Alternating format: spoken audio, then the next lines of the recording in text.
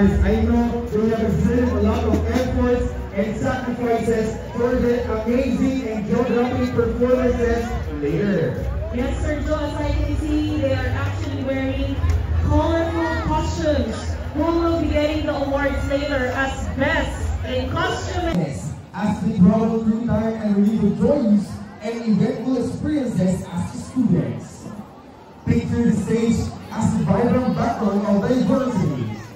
From spirit athletes to creative artists, from academic achievers to the free-spirited rebels. Together, we are here to witness the resilience of underdogs, the passion of the artists, and the unity that emerges when diverse talents come to tell their stories. As they battle through their differences, success is just around. Rhythmic beats will echo the heartbeat of these students as they navigate through the colorful life of students in school as they face different hurdles and achieve greater heights. Feel the energy as we witness the stories of these extraordinary young individuals as they navigate the dreadful dance of life and laughter. Ladies and gentlemen, let's welcome the Great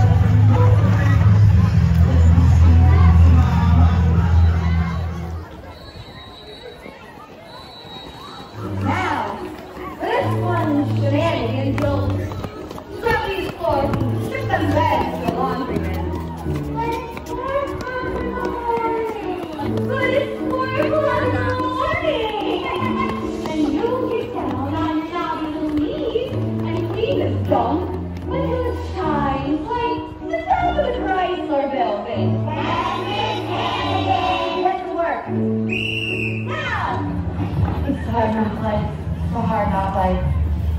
The hard knock life is the hard knock life. Wait, what does hard knock life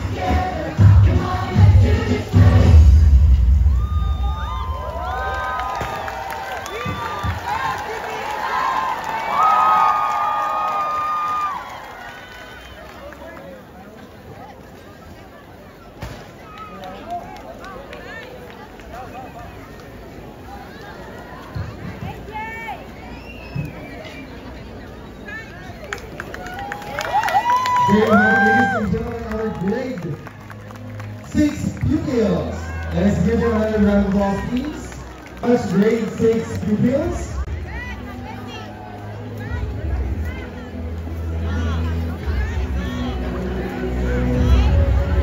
So that ends our math science competition for the intermediate level. Maraming maraming salamat po. The next category will be the junior high school level from grades 7, 8, and 9. They will be showcasing a stylized folk dance. Lance, we'll see you outside. a never-ending belief, ideals, values, and way of life. Today, let us watch the dynamic showcase of grade 7 Pepicians, Dancing Flair featuring a blend of the Bayanihan spirit and festive Thanksgiving with the magic of environmental love folded in.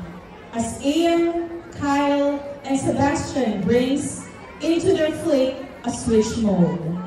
One Sunday afternoon, Ian, Kyle, and Sebastian played hide and seek.